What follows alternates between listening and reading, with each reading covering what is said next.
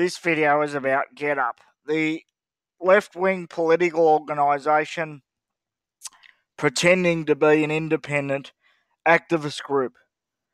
Despite never supporting a, a right wing patriot or conservative candidate in their entire existence, only supporting left wing or far left wing Labor Party or Greens candidates. Somehow they've been classed by the Australian Electoral Commission as being an independent political activist group. An independent political activist group that somehow gets funded millions of dollars. We don't know from where, although I have my uh, suspicions. I am fairly positive or almost certain that uh, my uh, our friend uh, Georgie Boy Soros is funding them because uh, after all, he's got his hands in the cookie jar everywhere, trying to overthrow countries.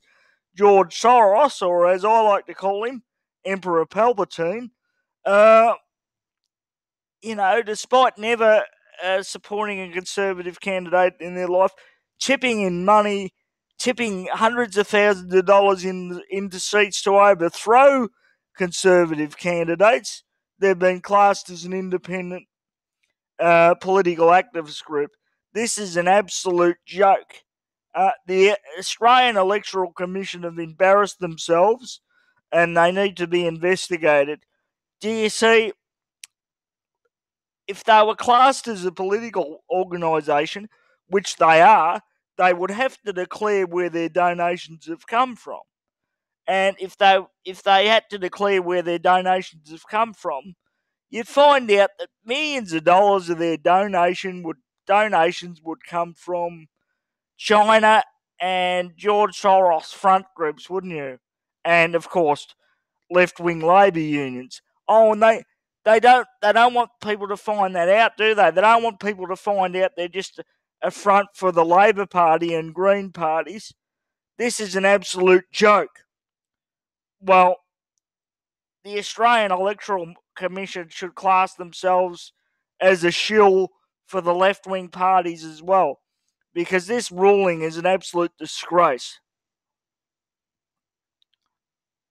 Get Up made millions of dollars last year. Where do you think that money come from? Old ladies giving out one and two one and two dollar coins, and uh, lefties that it's just lefty um, individuals that are supposedly donating their money. Left left people of the left don't donate. We all know that. They're bloody selfish. They're not going to donate. They're not going to do- donate their money. Give us a spell. You think they're going to donate $10 million to get up? Give me a break. I know it's you, George. I know it's you. You break my heart, George. You break my heart. Little tribute to Godfather 2.